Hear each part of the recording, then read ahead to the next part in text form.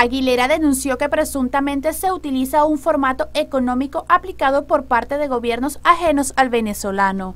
El Partido Comunista denuncia y ha denunciado en varias oportunidades ese formato aplicado de esa guerra para eh, derrocar a un gobierno democrático como el de Salvador Allende, eso está aplicado no solamente en Venezuela y Latinoamérica y el Caribe, esto ha venido sucediendo. De la misma manera, el secretario del Partido Comunista de Venezuela hizo la invitación para este próximo 6 de febrero a una concentración que se realizará en Puerto La Cruz.